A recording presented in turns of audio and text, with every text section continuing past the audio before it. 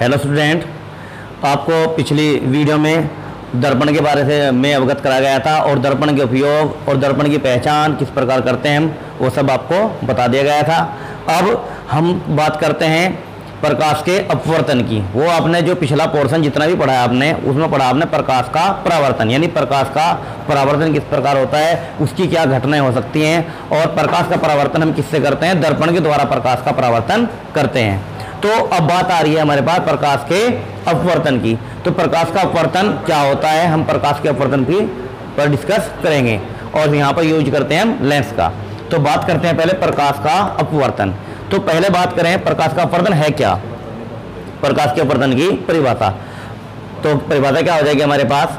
जब प्रकाश जब प्रकाश किसी एक माध्यम से दूसरे माध्यम में प्रवेश करता है, जब प्रकाश की कोई किरण या कोई प्रकाश ऐसे बोल सकते हैं। जब प्रकाश की कोई किरण एक माध्यम से दूसरे माध्यम में प्रवेश करती है तो अपने मार्ग से, यानी अपने रास्ते से विचलित हो जाती है। इस घटना को प्रकाश का अपवर्तन कहते हैं। अब बात आई इसमें एक माध्यम से दूसरे माध्यम में। तो ये माध्यम क्या चीज़ है? पहले माध्यम पर डिस्कस करते हैं। प्रकाश के परावर्तन परिभाषा बाद में देंगे।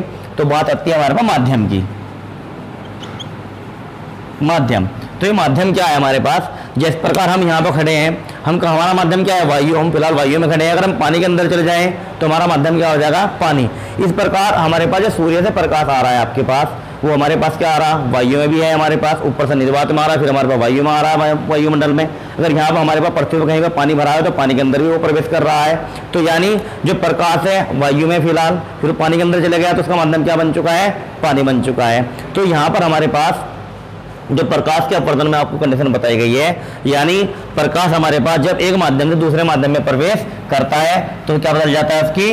वो अपने मार्ग से विचलित हो जाता है इसकी प्रकाशीय किरणें। इस घटना को प्रकाश का परावर्तन कहते हैं। तो इसको हम एक चित्र के माध्यम से समझते हैं और फिर प्रकाश के हम अपवर्धन की परिभाषा लेंगे। उसके बाद दो नोट बताए जाएँगे। उन नोट में अलग अलग हम चित्र को देखेंगे। तो पहले हम प्रकाश की परिभाषा को लिख देता हूँ यहाँ पर। और समझा भी देता हूँ तुम्हारे पास। और लेकिन हम चित्र के माध्यम से फिर दोबारा देखेंगे परिभाषा को। तो प्रकाश का अपवर्तन क्या है? आप अपने पेन और कॉपी अपने साथ रखें और परिभाषा को ध्यान से सुने और उसे फिर नोट करें। तो प्रकाश का अपवर्तन क्या है हमारे पास? जब प्रकाश की कोई किरण, जब प्रकाश की कोई किरण एक माध्यम से दूसरे माध्यम में प्रवेश करती है, जब प्रकाश की कोई किरण एक माध्यम से दूसरे माध्यम में प्रवेश करती है तो अपने मार्ग से विचलित हो जाती है। मार्ग से विचलित होने की इस घटना को प्रकाश का अपवर्तन कहते हैं। यानी अब हम चित्र के माध्यम से इस बात को समझेंगे। चित्र के माध्यम से बात को समझते हैं। ये हमारे पास क्या है? अपवर्तक पृष्ठ। कैसा पृष्ठ? अपवर्तक। जब हमने प्रकाश का परावर्तन पढ़ा था, उसमें बताया गया था आपको परावर्तक पृष्ठ। अब ये हमारे पास कैसा? अपवर्तक पृष्ठ। इसे बोल देंगे अपवर्तक। अपवर्तक पृष्ठ। ये हमने विलंब बना दिया यहाँ पर।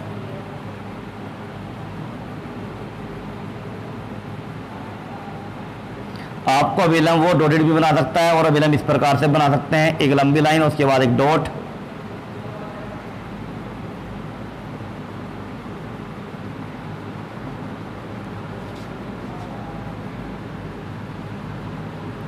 ये हमारे पास क्या है? अभिलंब है।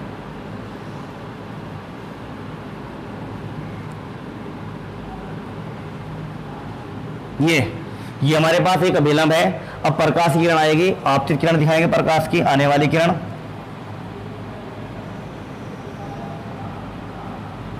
ये हमारे पास आपतित किरण दिखाई। आपतित आपतित किरण। और ये हमारे पास वर्तक पृष्ठ, ये हमारे पास अभिलंब।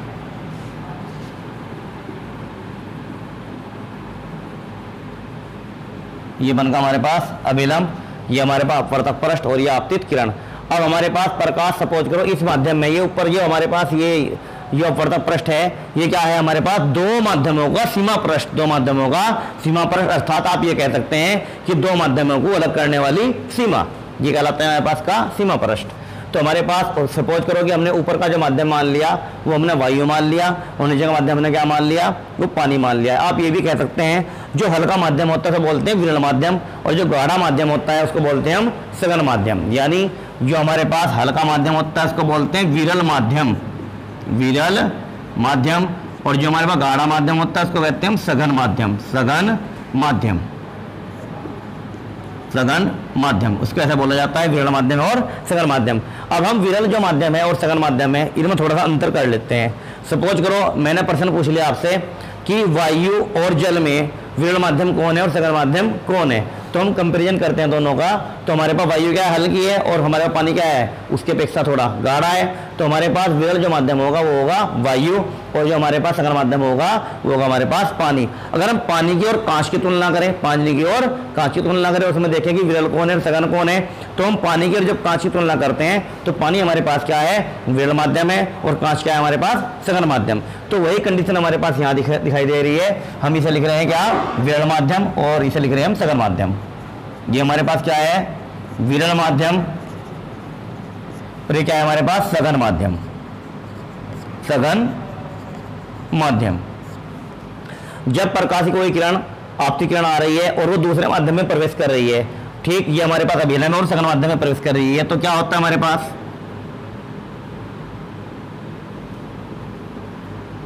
ये। यानी उसको जाना था क्या? सीधा निकलना था इस प्रकार से। लेकिन वो क्या होगी अभिलंब की ओर झुक जाती है अभिलंब की ओर झुक जाती है। इसको बोलते हैं, ये अपने मार्ग से क्या हो चुकी है? विचलित हो चुकी है। यानी हमारे पास प्रकाश कोई किरण आई और हमारे पास अपवर्त पृष्ठ पर गिरी वो और वो अभिलंब की ओर झुक रही है। तो हमारे पास क्या हो चुकी है? प्रकाश की अपवर्तनी घटना बन चुकी है। तो ऐसा भी हो सकता है कि हमारे पास कोई प्रकाश किरण आए और वो विलंब से क्या हट जाए, दूर हट जाए, ऐसा भी हो सकता है। लेकिन ऐसा कब होगा और ऐसा जब ये हमारे पास प्रकाश की कोई किरण विरल माध्यम से सघन माध्यम में जाती है तो वह विलंब की ओर झुक जाती है। यानी कहने का तात्पर्य हुआ, जब प्रकाश की कोई किरण विरल माध्यम से यानी हल्के माध्यम से गाढ़े माध्यम का सघन माध्यम में प्रवेश करती है तो वह विलंब की ओर झुकेगी हंड्रेड परसेंट उसके बाद हमारे पास अगर कोई प्रकाश की किरण सघन माध्यम से, विरण माध्यम में प्रवेश करे। यानी हमारे पास कोई पानी है, पानी से किरण कहाँ जा रही वायु में जा रही है। तो हमारे पास सघन माध्यम से कहाँ जा रही हो? वायु में प्रवेश कर रही है। तो वायु क्या है हमारे पास? विरण माध्यम है पानी की अपेक्षा। तो हमारे पास प्रकाश की जो किरण होगी, वो विलंब से दूर हट जाएगी। तो हम ये कह सकते हैं, जब प्रकाश की कोई किरण सघन माध्यम से, विरण माध्यम में प्रवेश करती है तो वो हमारे पास क्या होती है? अभिलंब से दूर हट जाती है। वो क्या होती है? अभिलंब से दूर हट जाती है। तो अब देखते हैं इसका दूसरा चित्र।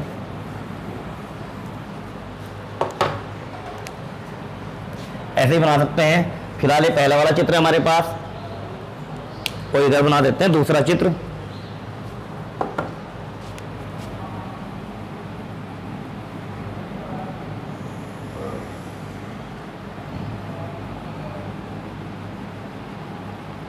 यह विलंब।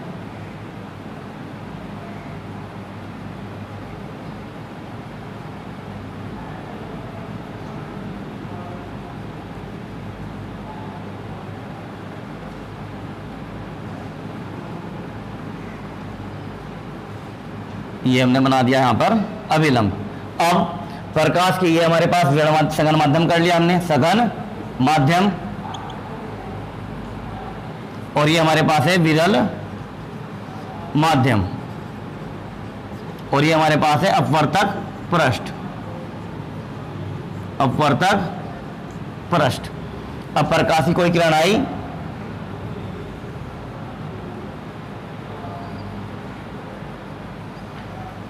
ये कोई प्रकाश की किरण है हमारे पास, आपतित किरण।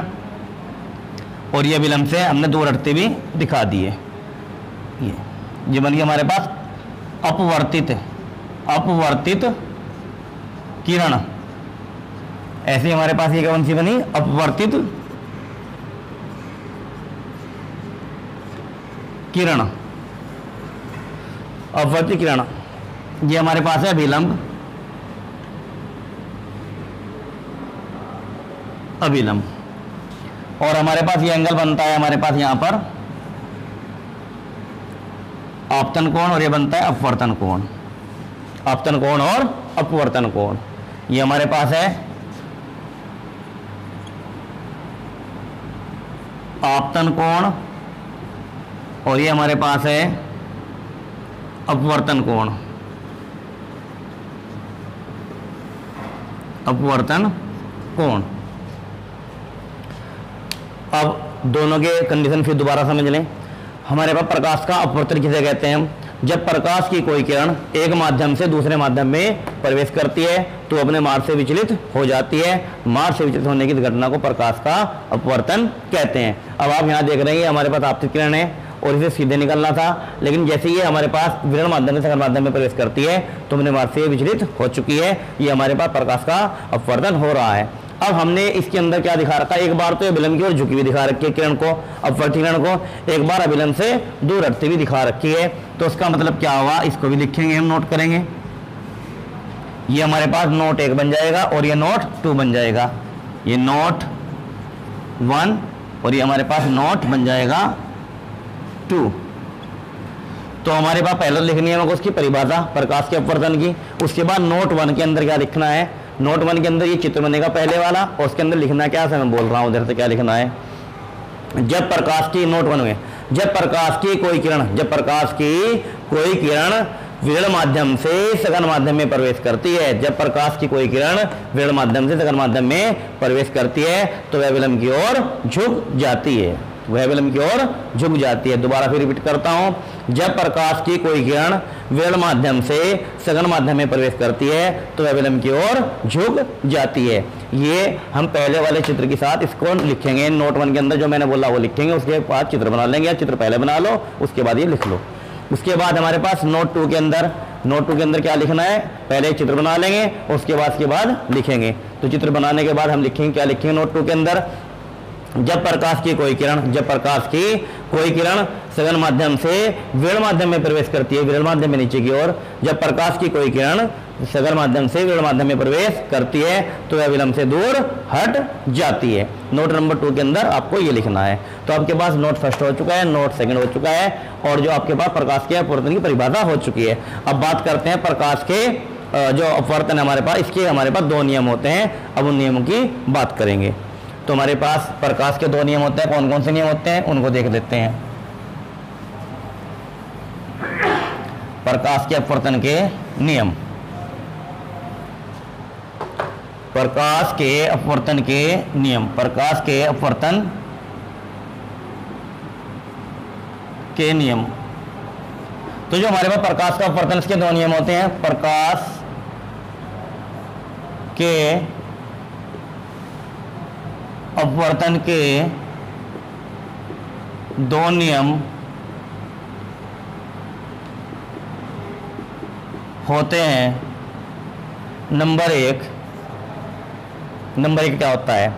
हमारे पास ये कौन सी किरण है? आपतित किरण। कौन सी किरण है भाई? आपतित। आपतित किरण। तो जो हमने प्रकाश के प्रवर्तन नियम पढ़ा था, पहला वही नियम हमारे पास का है। नेम चेंज कर दिए गए प्रकाश की आपतित किरण, यानी पहला नियम हमारे पास, आपतित किरण, अपवर्तित किरण तथा अभिलंब, तीनों एक ही तल में स्थित होते हैं। नियम नंबर एक क्या बनेगा हमारे पास, आपतित किरण अपवर्तित किरण तथा अभिलंब, तीनों एक ही तल में स्थित होते हैं। ये हमारे पास बन चुकी है इसकी पहली कंडीशन यानी पहला नियम बन चुका हमारे पास। आपतित किरण अपवर्तित किरण तथा अभिलंब तीनों एक ही तल में स्थित होते हैं। ये हमारे पास नियम नंबर एक हो चुका है। नियम नंबर एक दोबारा भी सुन लेंगे। इसे को आपको नोट करके लिखना है। नियम नंबर एक दोबारा बोल रहा हूँ मैं। आपतित किरण अपवर्तित किरण तथा अभिलंब तीनों एक ही तल में स्थित होते हैं। मैं लिख भी रहा हूँ और से नोट भी कर, कर लेंगे आप लोग। आपतित किरण आपतित किरण अपवर्तित किरण अपवर्तित किरण व अभिलंब। अभिलंब। तीनों एक ही तल में होते हैं, एक ही तल में स्थित होते हैं। यानी क्या हो चुका पहला नियम हमारे पास आपतिकरण अपवर्तिकरण व विलंब तीनों एक ही तल में स्थित होते हैं। और अब के बाद नियम नंबर टू। नियम नंबर टू क्या है हमारे पास? नियम नंबर टू है, किसी भी माध्यम के लिए, किसी भी माध्यम के लिए, किसी एक रंग के लिए, यानी प्रकाश की जो किरण है हमारे पास, उसमें हमारे पास जो सूर्य से प्रकाश आता है, इसमें हमारे पास सात रंग मिस होते हैं, इसलिए बोलते हैं इसको श्वेत प्रकाश। क्या बोलते हैं? श्वेत प्रकाश। हम इनमें से क्या ले रहे हैं? कोई भी एक रंग ले रहे हैं, वो रंग आप कोई भी ले सकते हैं। किसी भी एक रंग के लिए, किसी भी, यानी माध्यम हमारे पास क्या होंगे? दो माध्यम होंगे, एक तो वेड़ माध्यम होगा, एक होगा हमारे पास सघन माध्यम। तो किन्हीं भी दो माध्यमों के लिए, किन्हीं भी दो माध्यमों के लिए प्रकाश के एक रंग के लिए, किन्हीं दो माध्यमों के लिए प्रकाश के एक रंग के लिए आपतन कोण की जया और हमारे पास अपवर्तन कोण की जया का अनुपात एक नियत होता है, एक अनुपात एक नियत होता है। इसको बोलते हैं हम आपतन कोण यानी आई को इसको बोलते हैं अपवर्तन कोण आर को। आपतन कोण आई और हमारे पास अपवर्तन कोण होता है हमारे पास आर। फिर इनकी परिभाषा भी देंगे इसके बाद में नियम दो, दोनों नियम के बाद में। हमारे पास आई क्या है? आपतन कोण और ये हमारे पास अपवर्तन कोण। और जिया कहते हैं साइन को जिया बोलते हैं साइन यानी जिया बोल देंगे हम किसको? साइन को। तो हमारे पास क्या नियम बनता है? साइन आई बटे साइन आर बराबर नियतांक बराबर नियतांक। ये होता है हमारे पास। अब परिभाषा क्या बन जाती है नंबर टू की? किन्हीं दो माध्यमों के लिए, किसी एक प्रकार रंग के प्रकाश के लिए आपतन कोण की जया, यानी साइन आई और अपवर्तन कोण की जया साइन आर इनका अनुपात एक नियत होता है, यानी नियतांक होता है। जिसे को हम इस नैन का नियम भी कहते हैं। इसके नियम को क्या कहते हैं हम? इस नैन का नियम भी कहते हैं। इसे, इस नैल का नियम भी कहते हैं। इसको स्नेल का नियम भी कहते हैं। यानी हमारे पास नियम नंबर टू क्या है? किसी किन्हीं दो माध्यमों के लिए, प्रकाश के एक रंग के लिए अपतन कोण की जया और अपवर्तन कोण की जया का अनुपात एक नियत होता है। इसको आप ऐसा लिख सकते हैं। मैं लिख रहा हूँ यहाँ पर। किन्हीं दो किन्हीं दो माध्यमों के लिए, किन्हीं दो माध्यमों के लिए, प्रकाश के एक रंग, यानी किन्हीं दो माध्यमों के लिए प्रकाश के एक रंग की आपतन कोण की जया, किन्हीं दो माध्यमों के लिए प्रकाश के एक रंग की आपतन, कोण, की जया, यानी साइन आई व अपवर्तन, कोण की जया, अपवर्तन, कोण की जया साइन आर का अनुपात नियत होता है, नियत होता है।